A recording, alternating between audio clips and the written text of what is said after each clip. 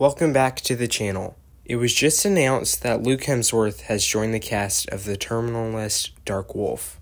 Dark Wolf is an original prequel series that takes place five years before the events of the Terminal List. It is an elevated espionage thriller that takes viewers on Edward's journey from Navy SEAL to CIA paramilitary operator, exploring the darker side of warfare and the human cost that comes with it, as we watch a fan favorite character fighting for his soul.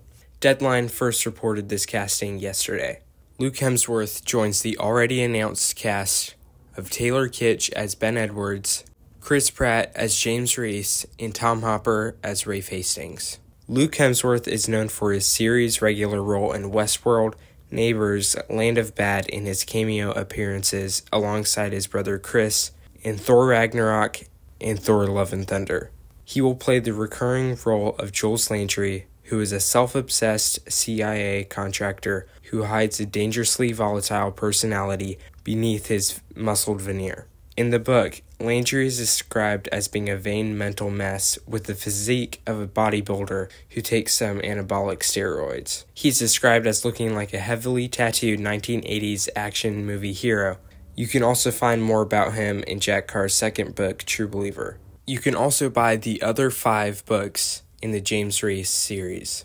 Book 7, Red Sky Mourning, comes out May 14th, and Targeted Beirut, which is a nonfiction book by Jack Carr, comes out September 10th.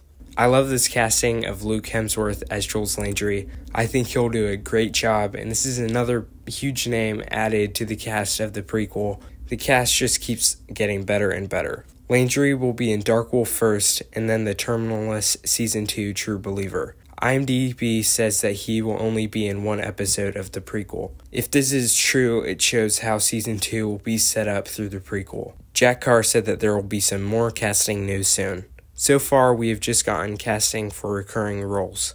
With this information, I expect that Muhammad Farouk could be the next casting. After that, I expect that we will get a lot more of the prequel casting and season 2 casting in a few months.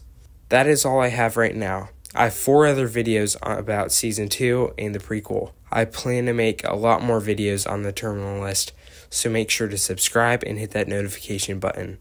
You can also follow me on Instagram and X for more frequent updates. If you enjoyed this video, then hitting the like button would be huge help. I try to respond to all of the comments as soon as possible, so make sure to drop your thoughts in the comment section below.